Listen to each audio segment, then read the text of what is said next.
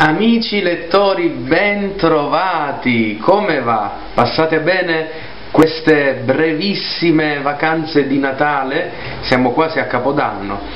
Ben trovati e stavolta per concludere diciamo in bellezza eh, questo 2011 per la rubrica di eh, dicembre ho scelto un romanzo che a me sta molto a cuore scusate il gioco di parole, perché è proprio Dracula di Bram Stoker. E se non è Dracula una creatura della notte, pensate un po' voi. e, ehm, questo romanzo che è scritto in maniera non romanzata ma in forma di lettere, diciamo che non è proprio un romanzo, ma è appunto un insieme di lettere, di trascrizioni, di ehm, eh, memoriali eh, e tutte insieme formano questa storia di questo misterioso vampiro che dalla Transilvania si trasferisce anche a Londra e dove passa lui miete vittime a destra e a manca. Ecco, questo è l'originale dove tutto è nato. Eh, Bram Stoker ha ideato eh, questo, eh, questa figura del vampiro ispirandosi a, in realtà ad un fatto realmente accaduto. Naturalmente che poi lui ha reso più, eh, più fantasy, più, più, più horror è esistito in un certo senso un, ehm, un, personaggio come Dracula, molto sanguinario e che ha ucciso tantissime persone e si chiamava Vlad l'Impalatore, esattamente Vlad III di Valacchia. E, ehm, e fu eh, un vero e proprio essere spregevole.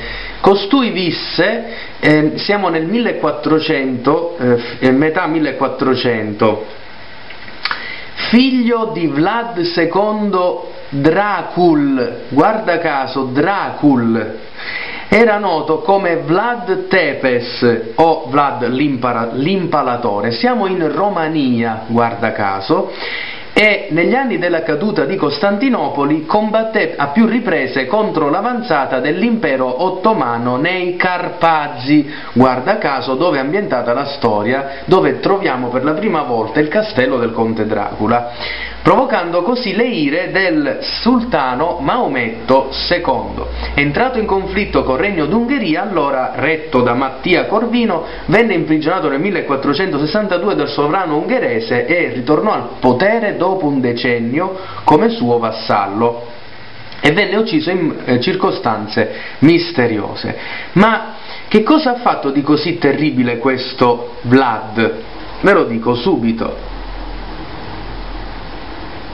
Allora, dovete sapere che appunto lo strumento di tortura di Vlad era appunto l'impalamento, ossia si prendeva un'asta appuntita e eh, si eh, conficcava purtroppo eh, trafiggeva il condannato all'altezza dell'addome per poi issarlo in alto. La morte era veramente o immediata oppure sopraggiungeva dopo ore di agonia terribile ma terribile e, um, un altro metodo di impalamento era invece di utilizzare un'asta arrotondata all'estremità scosparsa di grasso e veniva inserita naturalmente nel retto, cioè nel sedere, e, eh, della vittima che poi veniva issata e tenuta infilzata. Il peso stesso del condannato le faceva penetrare l'asta sempre più dentro. Non continuo a descrivervi questa terribile tortura perché c'è da rabbrividire. Ecco, vi voglio segnalare a proposito, se volete approfondire la figura di questo eh, oscuro individuo di Vlad, un interessante saggio edito dalla Mondadori che si intitola eh, Dracula la vera storia di Vlad III l'impalatore di Matei Kazaku. Ecco la copertina.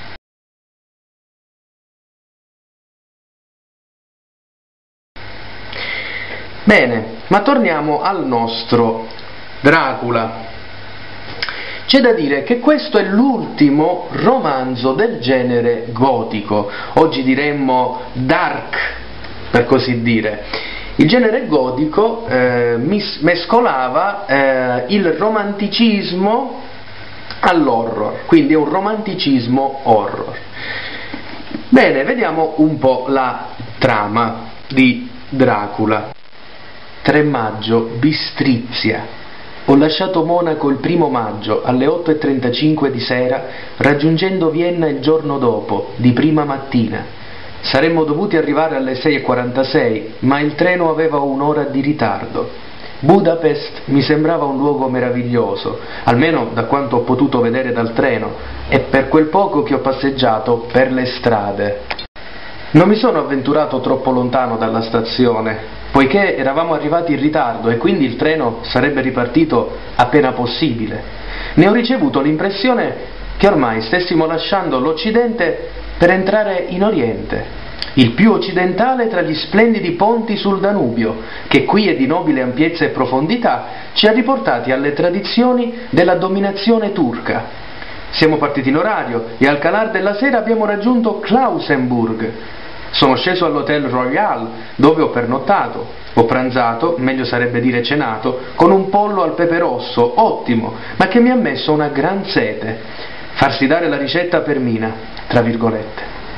Ho chiesto al cameriere il nome della ricetta e mi ha risposto che era paprika Handel, un piatto nazionale, e avrei potuto gustarlo ovunque, nei Carpazi ho scoperto che la mia infarinatura di tedesco mi è assai utile. A dire il vero, non so proprio come riuscire a cavarmela altrimenti.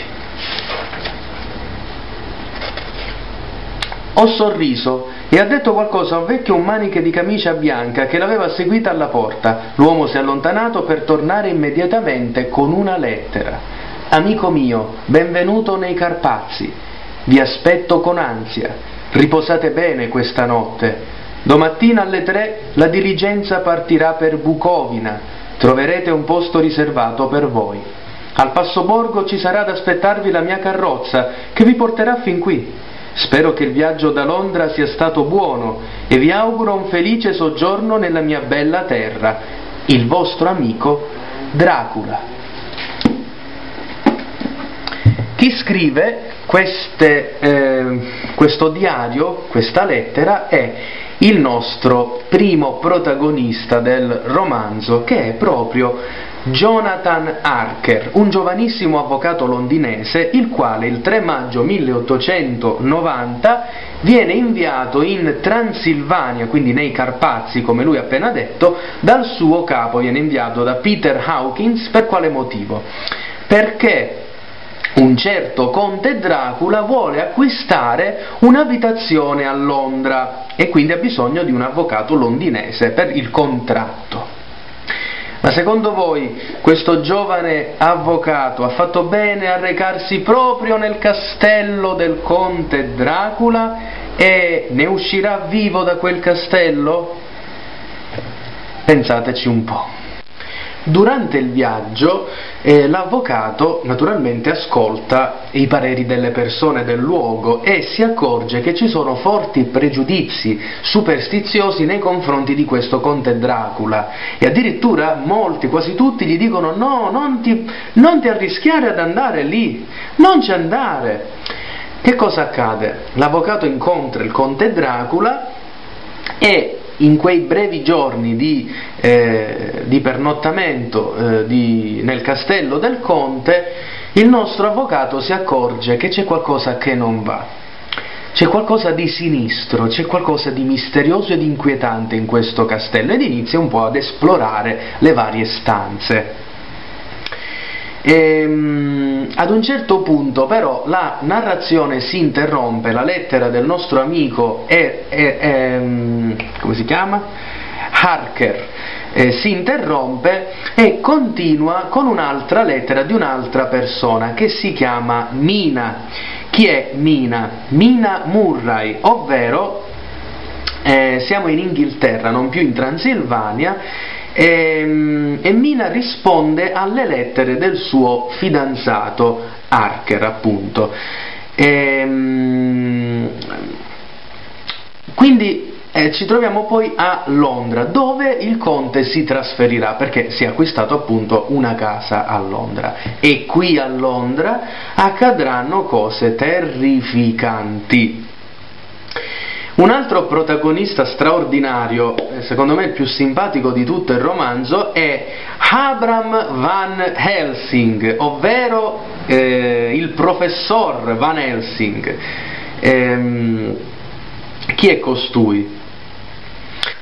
Egli è il nemico in assoluto del conte Dracula, l'unico in grado di riuscire a sconfiggerlo, l'unico che sa i suoi punti deboli. Io non voglio aggiungere altro, al di là del fatto anche che ormai il tempo sta per scadere a mia disposizione, Amici, io vi voglio lasciare, intanto se non l'avete letto dovete leggerlo, non sarete altrimenti delle vere creature della notte.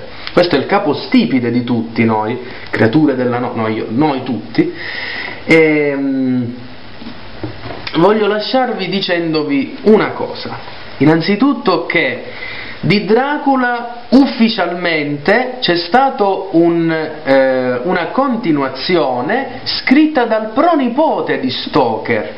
Eh, il titolo è Un Handid, gli immortali. Il nome del pronipote di Stoker è Dacr Stoker.